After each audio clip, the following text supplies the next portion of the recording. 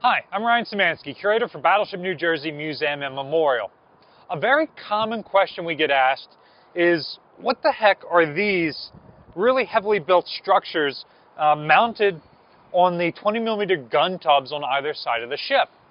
It's an especially frequently asked question because there's nothing inside of these anymore. You can't tell what they were once supposed to be. However, this was part of the running lights of the Iowa class battleships. And this particular structure uh, seems to have been built later on the ship's career. It's not the way the running lights were originally set up on the ship. So, running lights are something that are on all major vessels. Uh, th- there is a size of small boat down where you're just supposed to have a flashlight to show that you're there. But anything of a certain size and up, don't ask me that size, certainly long before you get to 887 feet long, uh, you're supposed to have fixed running lights wired into the ship. There are several different types of running lights. The most common ones are you always have a green light on your right hand side, your starboard side, and a red light would go here on your port side.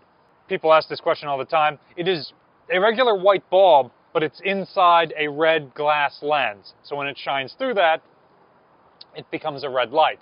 You'll notice that we do not have the lenses in place anymore. Uh, they were removed from the ship when the ship was mothballed. We may well find them in storage somewhere on board, or they may have been reused on another ship. We don't know yet. Eventually, we'll manage to strip some off another ship and reinstall them. Another light that this ship would have is a stern light.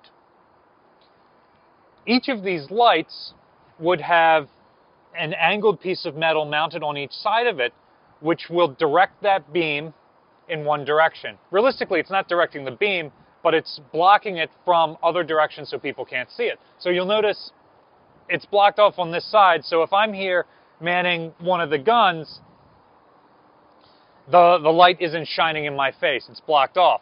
And likewise, when we're operating in a formation of ships at night, everybody needs to see where everyone else is.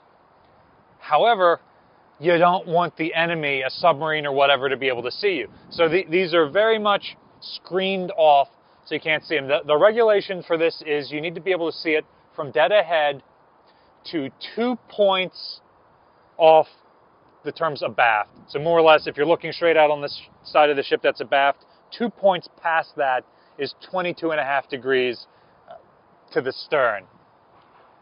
Which means that you can see this light from just about anywhere on this side of the ship. And if you're coming dead on, you can see both a green, green and red light at the same time. And that way you know that the ship's coming up behind you.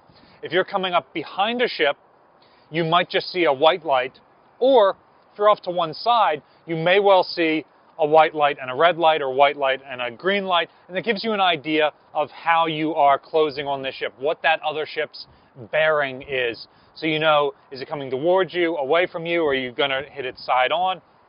It's giving you enough information on that.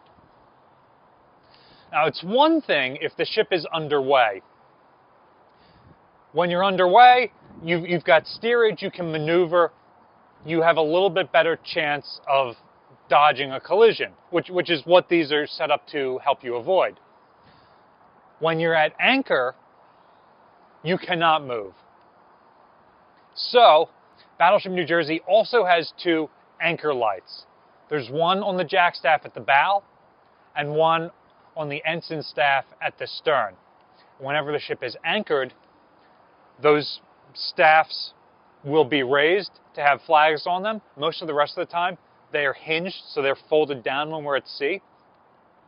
And th- those lights aren't needed when we're at sea. But when we're anchored, they're folded up, the, lights, uh, the flags are put on them, the lights are turned on. So that will show another ship that we are anchored here and stationary. And it's, notice one's on each end of the ship. So they can tell just how much space there is between this. At night, you, you might not see the ship at all or a silhouette. You might only see the lights on either end. A final type of light that the ship carries is called a masthead light.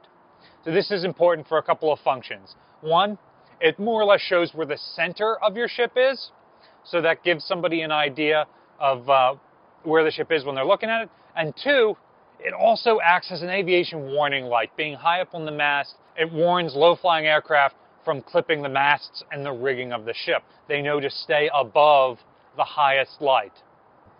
We still use some of these lights today. I've already told you we're missing the port and starboard lights, but our anchor lights are still on. That's how I know if there's power on the ship when I come in in the morning. That's the first thing I check. Is there power? Can I hear the air conditioner running? Because it's loud, you can hear it from really far away. Or can I see smoke coming out of the heating boiler? Um, and those tell me whether I'm going to have a good day or a bad day while I'm still in the parking lot. Likewise, we still maintain the aviation warning light at the masthead for the same reasons that, that it was designed to be there. We don't want the helicopters that frequently buzz over the ship to get a good view of us to run into the ship and cause damage to us and, and to themselves, but they're not artifacts. Who cares? There are many other lights on the ship which would often be turned on. In fact, usually if you come and see the ship at night, we'll have lights up along the railing, we'll have string lights up on the up and overs, we'll have spotlights illuminating large parts of the superstructure. Um, these are all LED lights, many of which have been installed since the ship was turned into a museum. But the ship did have old incandescent lights for that purpose. For example, lighting up the fantail if we have a helicopter that needs to land on board after dark. Uh, so there are significantly more lights that can be turned on at night, but oftentimes, especially in a war zone, they would not be, and instead uh, you would just have the bare minimum running lights and there might even be conditions in which those are turned off to protect the fleet. During World War II, there was even a uh, structure built on the uh, aft mast that, that sort of had a shape like this and a couple of lights in it.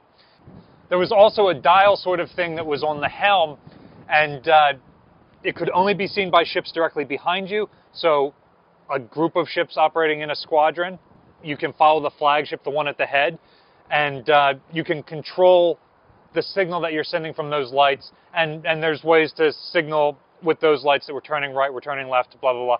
That's removed after World War II, and Battleship New Jersey no longer has it. If you look at our helm uh, console, you'll see that there's one side has this tombstone shaped piece on it that's uh, the engine order telegraph or the rudder angle indicator, something like that. The other side has a tombstone that's just blanked over, and that's where that old piece was removed from. If you go and visit a ship that's still in their World War II configuration, you may see that structure still built on the uh, ensign staff, and you may see that control console up on the steering console. And we haven't even started talking about the ship's signal lamps yet, but that's a story we'll leave for another time. This is a fairly important ship's feature that we haven't talked about before. Can you think of anything else that uh, is important to the battleship that we haven't mentioned before, let us know in the comments down below and maybe it'll be a future video. Battleship New Jersey receives operating support from the New Jersey Department of State, also from a number of other businesses and private individuals like yourselves. We really appreciate your support, and there's a link in the description below if you'd like to donate to help support the museum and our channel. You can also support us by liking, sharing, and subscribing so more people find about us and the museum. Thanks for watching.